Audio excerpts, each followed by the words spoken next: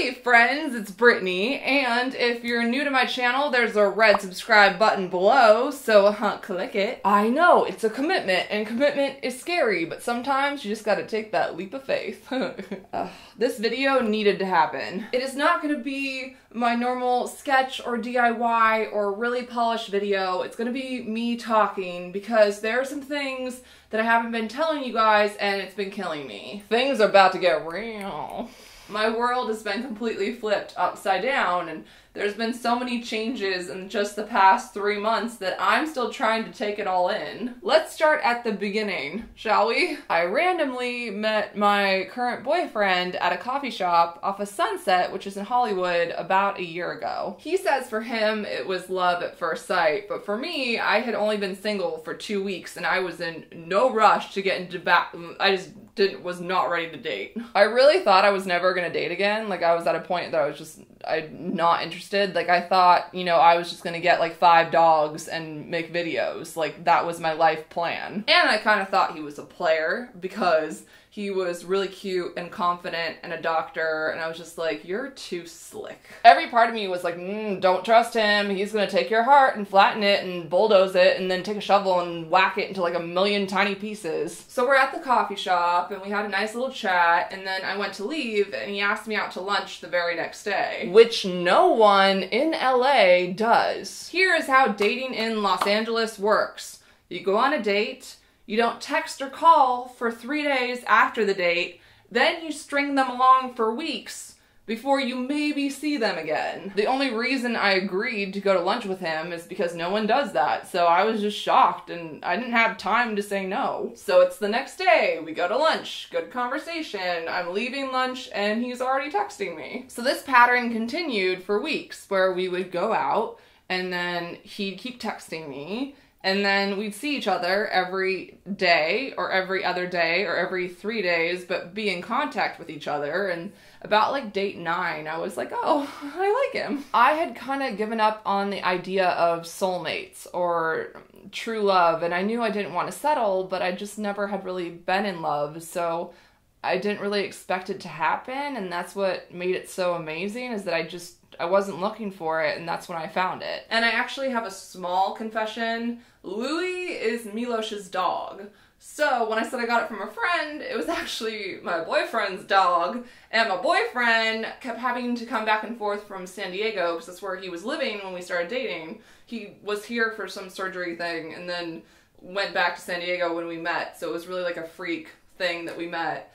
And um, Louis um, was staying at his aunt's house, so he kept having to leave him to come see me. So I said, well, why don't you have Louis come live here? So it was funny because Louis moved in, and then Milos started basically living here too. because when the dog moved in, he kept coming to see Louis, and then it just kind of happened. Like, we didn't talk about it, we just kind of started living together and that was about five months ago. I've been hiding so much from you guys and it feels so good to be honest. Everything was just really natural. Like after two months of dating, I was like, I love him and I want to marry him someday. So it just worked. And about like four months ago, we were just talking and he was like, you know what? You're basically already my wife. And I said, yeah, pretty much. He's like, we should just get married. And I said, okay. so that's how that conversation happened. There wasn't like a big proposal with like, you know, champagne and flowers. It was just a conversation and we're like, okay, let's do it. And so we started hunting around for rings and I've been looking at like diamond engagement rings that were vintage because I knew I wanted to, uh, an old ring because I just like old things. I like filigree. I like things that have history and I felt like it was also better for the environment and more ecologically sound because it's not a newly mined diamond. So I felt like I was doing my part. And I was gonna do the whole like when I found the ring and then announce it on social media like, hey, I didn't say no you know, like, like, one of those things. And while I was in New York, and I was also looking at rings and working for those two weeks, that was about three and a half months ago, I just knew something was off. Like, I was like, something was weird with my body. I don't want to go into details, but I had my suspicions. And I got back from New York and I had my suspicions. I was like, something is not right with my body. And so I ordered like three pregnancy tests off of Amazon, took all of them, and all of them said that I was pregnant. And trust me, no one was more shocked by the fact that I was pregnant than me. Milos was shocked but happy because he wants like five kids, and I'm like, I'm only popping out two. And I mean, I, I had a plan for my life. I'm like, okay, I'm gonna work for three or five more years and then maybe think about having children in the future. Not right now, but sometimes God or the universe has its own plans. Like, there's this saying that I really like that says that man plans, God laughs. he was laughing. And I'm not gonna lie, like, I cried for two days straight and was like, my life is over. I'm gonna be a mom. And I really didn't have a lot of time to adjust to the fact that I'm gonna be a mother before morning sickness kicked in and it kicked in hard. You wanna know what happened to my channel and my videos?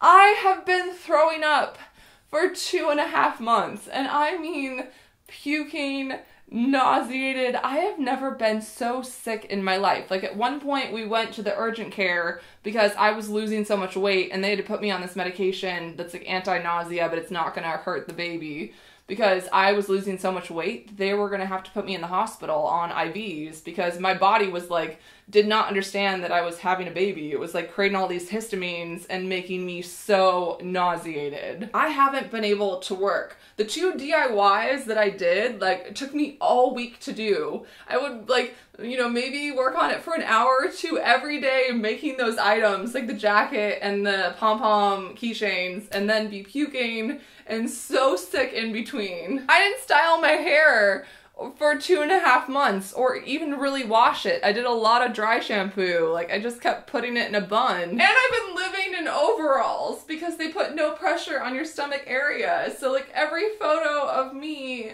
in the past two and a half months has been me in overalls. And if you didn't believe me, here is the physical proof that I have something in my belly. Look, it's right there. But let me tell you, Milos has been amazing. Like doing all the housework, taking care of Louie, cleaning up my vomit. TMI. I'm currently in my 14th week, almost into my 15th week, and I have no belly. I've looked online on Pinterest and Google as to what a 14 week old belly should look like, but my baby is playing hide and seek. So, what all this means for me right now is I wake up. I eat a breakfast that is high in protein because I have to take 70 grams of protein into my body every day right now. I then try to go to a gym because I can't stand the heat. So I have to be inside an air conditioned area and then try not to be nauseated while I walk on a treadmill. Then I have to come home and eat more protein and vegetables and organic food. Then I have to take a ton of vitamins because you need a ton of vitamins when you're pregnant to make the baby healthy.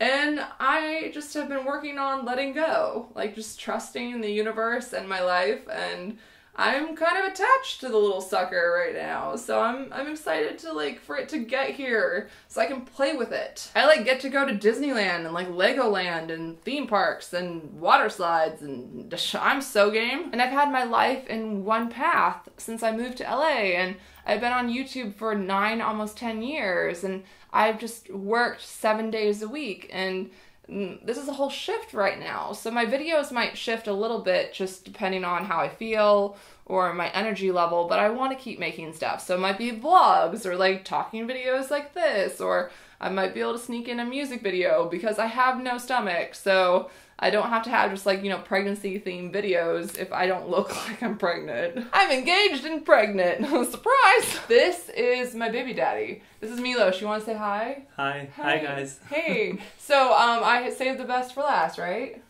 Exactly. Are you happy that you're marrying me? I'm the happiest man on the planet. Are you happy that you knocked me up? Very much. we were at the first ultrasound. I feel, I feel it's the camera. Okay, we were at the first ultrasound, and it was so funny because I looked over at him and I was like, "You did this to me." And he's like, and I was so proud. He's so proud. So, um, yeah, this is my video. That's what's been going on in my life. I love you guys, and do you want to say anything to them? Yeah, sure. Well, bye. Bye. Bye. Bye, guys.